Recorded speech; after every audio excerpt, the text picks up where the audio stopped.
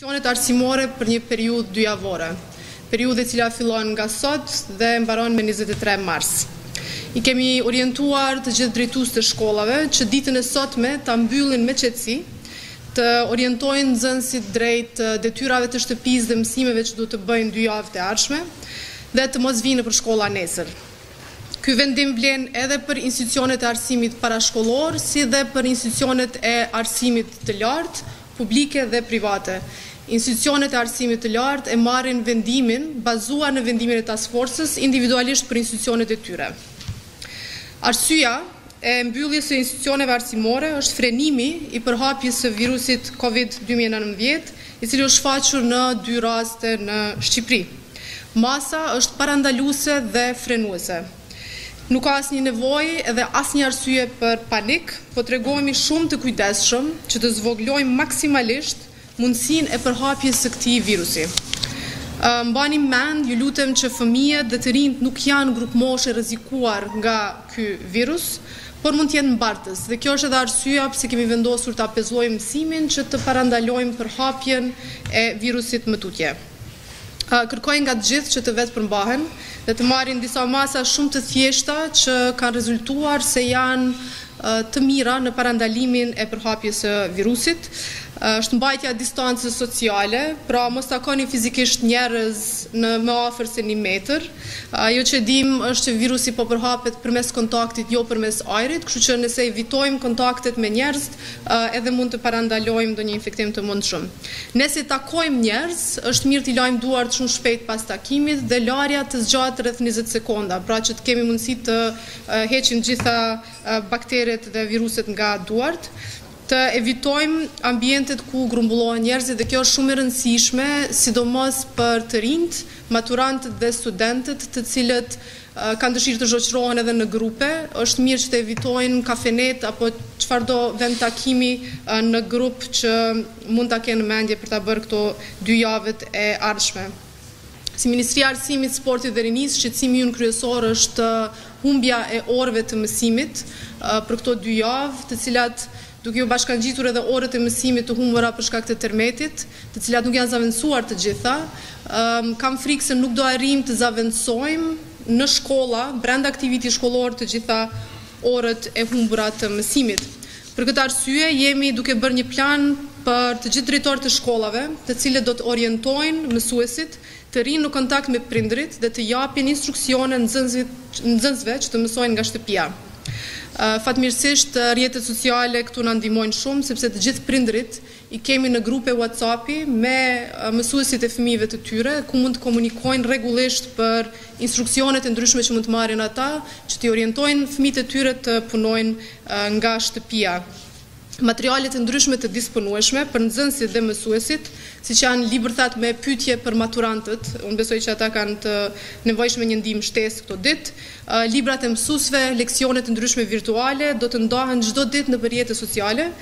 me drejtorë të shkollave, të cilët pastaj do ua transmetojnë mësuesve dhe ata prindërve. dhe nga prindërit tek nxënësit. Një formë e punës që po e shqyrtojmë është të bëjmë selfie video, pra nëse ka disa pyetje që grumbullohen te ai çeti me me prindërit e nxënësve dhe me mësues dhe ka pyetje për një leksion të caktuar, mësuesi apo mësuesja mund të bëjë një video me përgjigjet, një video të shkurtër që e dërgon në grup dhe pastaj ajo shpërndahet tek nxënësit. Kjo është një nga format e shumta të cilat Po i shqyrtojmë për t'i aplikuar qysh nesër, pra do krijojmë klasa të vogla virtuale në nëpër telefonat tonë. Dhe kam një porosi për gjithë nxënësit, sidomos ata të shkollave të mesme dhe studentët, duhet të mësoni në shtëpi, të lexoni librat shkollorë, të bëni detyrat e shtëpisë siç ju japin instruksione mësuesit, sepse është përgjegjësi e juaja nëse po flasim për nxënësit e mëdhenj dhe studentët, dhe përgjegjësi e prindërve nëse po flasim për nxënësit më të vegjël, që në këtë fazë kur na është dashur që të ndërmarrim një masë ekstreme për të parandaluar përhapjen e virusit, ata të mos ngelin mrapa me mësime dhe me rezultatet mësimore. Nesër e kemi një takim virtual me ministrat e Arsimit në kuadër të kryesimit të OSBE-së nga Shqipëria. ku do të ndajmë edhe eksperiencat e shteteve tona për adresimin e çështjeve që lidhen me një proces sa më të rregullt arsimor në këtë fazë ku nuk mund të frekuentojmë shkollat. Si vend që është prekur pas dy muajve, pas, pas që filloi raportimi për koronavirusin, ne si Shqipëri kemi patur mundësi të mësojmë nga përvojat e mira të vendeve tjera. Vendimet që merr Task Forca, janë të bazuara në rekomandimet më të mira të Organizatës Botërore të Shëndetësisë dhe marrë parasysh që Task Forca informohet rregullisht për numrin e rasteve të paraqitura dhe rasteve të infektuara, në varësi të kësaj do merret vendimi edhe për vijimin e mësimit pas datës njëzet e tre mars. Ne do jemi në komunikim të vazhdueshëm me juve, përmes konferencave për shtyp sikur kjo tani, por edhe përmes rrjeteve sociale ku do postojmë çfarëdo lloj informacioni që mendojmë se është i mirë për juve, për qytetarët që na shikojnë, për nxënës, për prindër dhe për mësuesit. Dua vetëm të përsëris shumë shkurt mesazhet kryesore. Shkollat janë të mbyllura deri me njëzet e tre mars. Mësuesit do të vazhdojnë të punojnë nga shtëpia apo nga shkolla dhe do krijojnë këto klasat virtuale në rrjetet sociale. Komunikimi me nxënësit bëhet përmes prindërve të tyre. Udhëzimin për mësuesit dhe për punën që do e bëjnë këto dy javë të ardhshme do e publikojmë së shpejti, ndërsa për udhëzimet e përgjithshme që duhet të keni të gjithë në vëmendje, lani duart shpesh dhe me kohëgjatësi më të madhe, evitoni ambientet me shumë njerëz dhe nese ka simptoma gripale kushdo të marrë numrin njëqind e njëzet e shtatë në mënyrë që të marrë informacion nga mjeku apo infermieri në anën tjetër të telefonit për të vijuar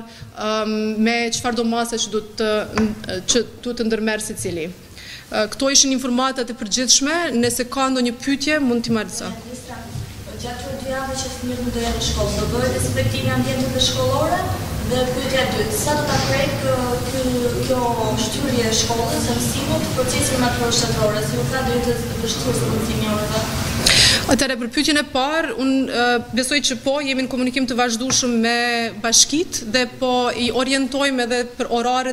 kur mund të bëhen këto dezinfektime që të jemi gati për 23 mars, në rast se vijojmë me mësimin me 23 mars. Ndërsa për maturën shtetërore,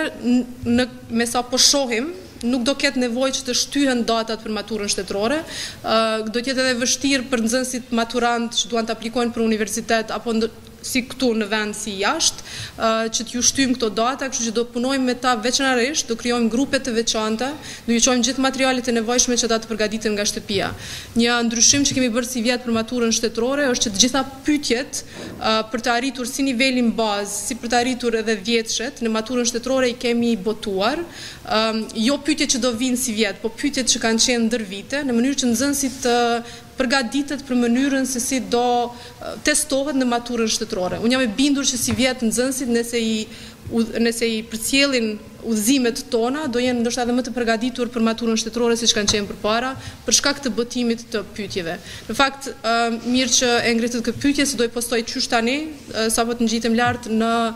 Fejsbukun tim edhe linkun për këtë udhëzim edhe do e shpërndajmë edhe te të gjitha grupet edhe njëherë